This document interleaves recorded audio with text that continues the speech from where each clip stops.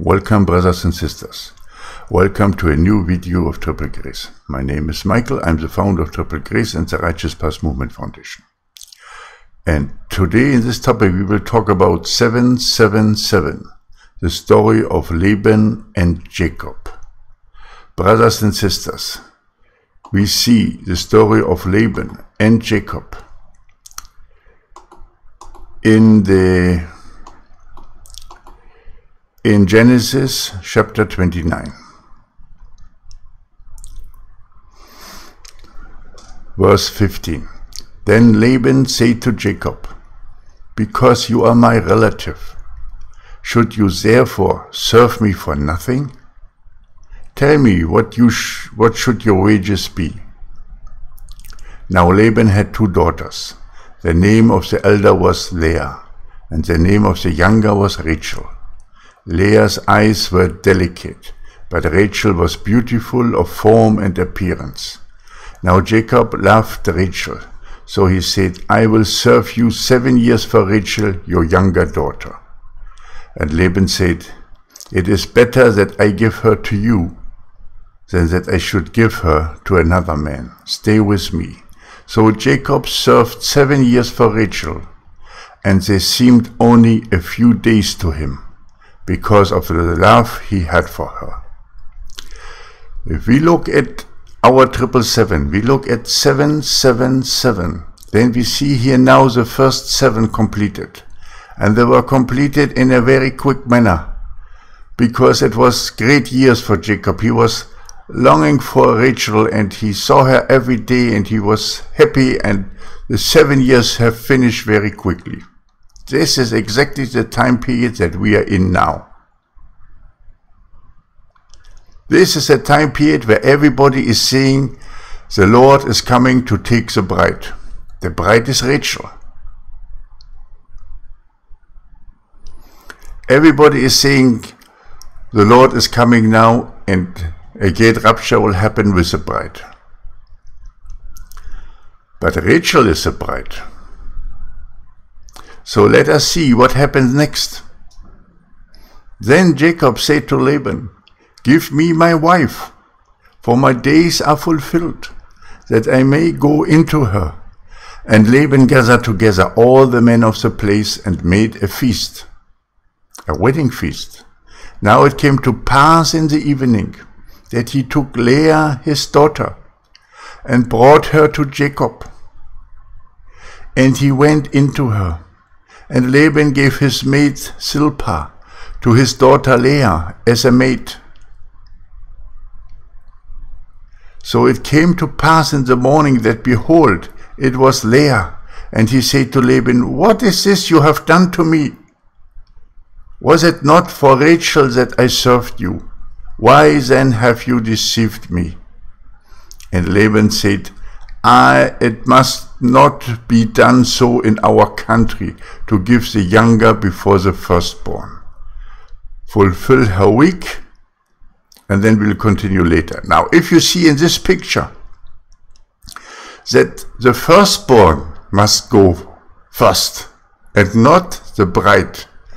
And we see now that we are in the, at the end of the first seven years of the work of Jacob. And Everybody expects that the bride will be married, that the bride will go. But it will not be so. After the first seven, the firstborn will go. The escape of the innocent will take place. The small group, the firstborn of the harvest, the firstborn of the rapture will go. A very small group will go. Not the bride.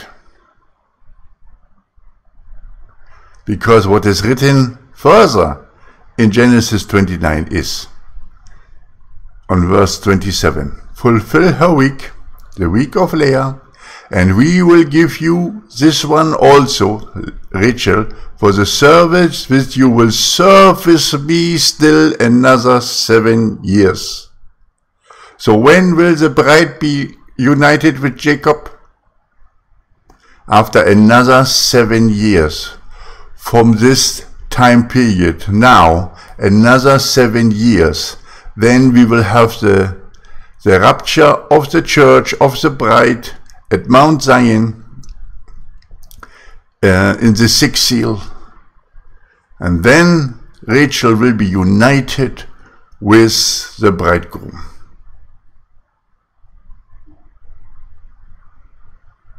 But that is not the end.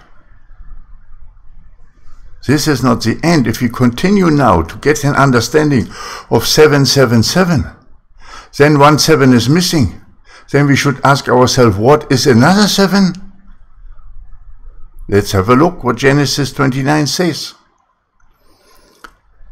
Verse 28. Then Jacob did so and fulfilled her week. So he gave him his daughter Rachel as wife also after seven years. And Laban gave his maid Bilhah to his daughter Rachel as a maid. Then Jacob also went into Rachel, and he also loved Rachel more than Leah. And he served with Laban still another seven years. So, how long has he served? Seven for hope, hoping to get Rachel, but received Leah. Seven for Rachel. And then seven he served Laban. So who, who are the people of the last seven years? Laban is a Jewish father-in-law. So he serves there for the law. He serves there for the Jewish father. He serves there for the house of Judah. So we have 777. The first seven completed now. The escape of the innocent. Leah will be betrothed to Jacob. Then another seven years starting now, the seal tribulation, bringing us to Mount Zion. After seven years, the bride will go into the rapture onto Mount Zion. And then another seven years, the Great Tribulation, the Trumpet Tribulation will start when we will see Jacob serving the Jewish household, the house of Judah, Laban, the father-in-law. So we have 777. And this is a great picture, the great revelation of the Lord, how our end times will unfold. Have the last seven years not passed very quickly? Yes, because they were great years and we were looking forward. We were looking forward for the coming of Jesus. And he is coming. But he is not coming for the bride now for Rachel. He will come for the firstborn. Because the Lord has said the firstborn are mine and the firstborn must go first. And the firstborns are the children who are innocent under the age of accountability, the disabled ones.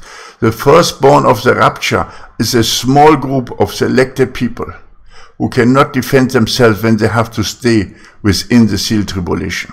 Then the seal tribulation will start, the seven years to work for the bride, the final task of the bride here on earth to bring in the harvest, to work for the Lord, to, to bring forth great revival, to show that light to the nations.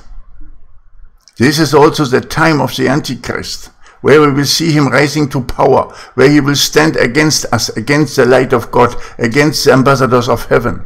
And we will face him, but we will overcome. And we will stand at the base of Mount Zion at the sixth seal, and there we will be raptured into paradise. And our wedding will take place. The bride will be taken. Rachel will go to the Lord at that time. Then when the Christians have gone out, the final seven years will start, the trumpet tribulation. In this first three and a half years of the trumpet tribulation, the Lord will build the temple in Jerusalem. It will be his millennium temple. You will see no temple built until that time period. You can rest assured of this that no temple will be built until that time. The Antichrist will not sit in the temple. Satan will sit in the temple. Satan is the one who wants to be like God. Antichrist is the one who want to, to be like Jesus. And he will stand against Antichrist against the Christians, and Satan will stand against the house of Judah, the Jews.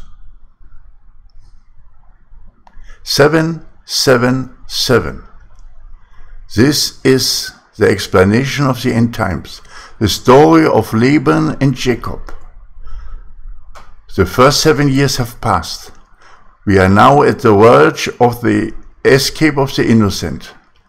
When Leah will be taken out, the firstborn of the rapture will go. Then seven years of seal tribulation. Then Rachel will be married, the bride. The church will be raptured into paradise at Mount Zion. And then the time for the Jews will come. The Jewish father-in-law, Laban, Laban's time will come. When Jesus will walk in their midst, when they will start to finally accept Jesus as their Lord and Savior. But still Satan will come in and has his time for three and a half years. And at the end of it, Jesus will come down, feet down on the Mount of Olives, Armageddon, and start of his millennium kingdom. 777. So, brothers and sisters, what have we left now? Our 1 7 is past, so what is left is 7 7.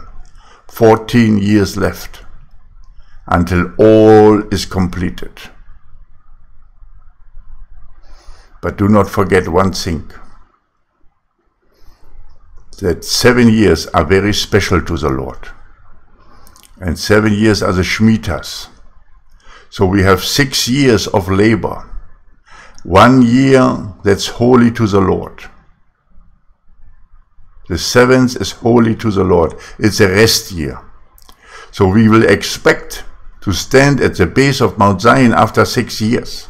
So latest in uh, 2026, we should stand at the base of Mount Zion, ready to be raptured into paradise. Until then, our work is to bring in the harvest of the ages so many prophets are telling you now, arise my bride, arise my bride, your time has come to shine. Arise now seven more years, six years of labor, one year of rest, and you will be with me and forever in all eternity. Many prophets are receiving the messages. Many people are receiving the messages that this is the time now for them to arise. Seven more years for the bride. Bring in the harvest the harvest of the ages. Fulfill your duty as a son or daughter of the kingdom of heaven. We talked about that.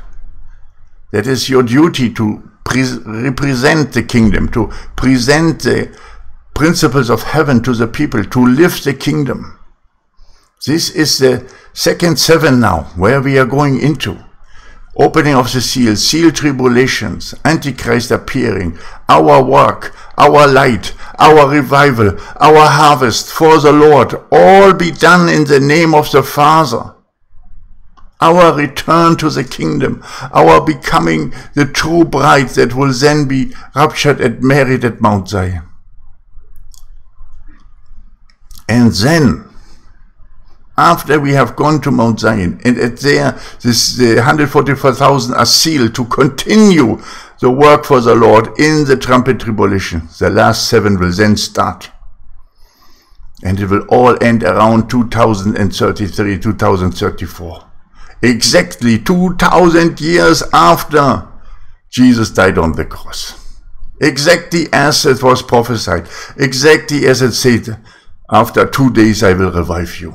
After 2000 years I will come and I will make a glorious kingdom here on earth where you will have one king, one face, and walk in complete unity. Our time now, this seven years is our time of preparation, our time of dress rehearsal of the millennium kingdom, our time of coming close to the Father, our time of a new level, of a new connection with the kingdom of heaven and our time to bring in the harvest, our time to stand in our neighborhoods and to invite the people to the great harvest, to the kingdom, invite them to Mount Zion. This is our time. Because we are Rachel, we are the true bride, and the true bride will go after seven years, six the seven years is rest, will be gone to Mount Zion. But now an escape will take place of the firstborn. Yes, maybe some of you might go because you are made yourself ready. But it will be a small group, as you see in the harvesting picture. First a small harvest will be taken out. Then the great field will be harvested. And then the corners of the field will be harvested, what was given to the poor and to the strangers. And then everything is completed. So it's always threefold. And in the same way we have seven, seven, seven. And now what is left is seven, seven. This is a great understanding, the great revelation of the Lord for the end times. That will not take anything away from Daniel's prophecies. Daniel's prophecies is either uh, twofold or threefold, or it is just for the house of Judah. For the final seven years. Because it's true, there is a final seven years. There is a great tribulation. But is not also the seal tribulation a great tribulation? If you compare to the first seven years that have passed so easily, if you use it in the words of, of Jacob, so quickly, the last seven years were very quick. Now it's the time that the children will go, the innocent ones will go, the firstborn will go. And a few special ones who made their garments so clean that they're ready to go right now. And then the, the bride, the true bride of Christ will start her work in the nations to bring in the harvest, to bring forth a multitude clothed in white that nobody could number from all nations and all tongues to stand at the base of Mount Zion and there to be raptured into paradise. Our time is here, brothers and sisters. We are part of the true bride. Even if you see now the innocent escaping right now, do not worry. The bride has not gone. The bride is going at Mount Zion. Rachel is the bride. Rachel was the one that the Lord wants but the firstborn must go first, then the bride. And then the, the work can be done for the house of Judah, for the Jews, represented by Laban, the father-in-law, the Jewish father-in-law. 777. The story of Laban and Jacob and the end times explained. Now you know, brothers and sisters, where you are where you are within the timeline. The marriage of Leah, the firstborn. The escape of the innocent is at hand. Then seven more years for our rapture of the true bride to paradise. Then seven more years for the, the house of Judah, the Jews, to find Jesus Christ. When we are already together with the Father on a new level. This is a new revelation that hopefully you understand because it's important. You should not be dismayed when you see the first group, the firstborn going right now. But on the contrary, you say, now, now it's a time when we will step out to fulfill our final task. And then we will go. So you will have the power to walk another seven years as Jacob did for Laban. Now you will work another seven years for the Father, and then you will go and stand before the throne of God. Brothers and sisters, 777. The story of Laban and Jacob, the end times explained. Be blessed in the name of the Father, the Son, and the Holy Spirit. Amen and amen. Maranatha.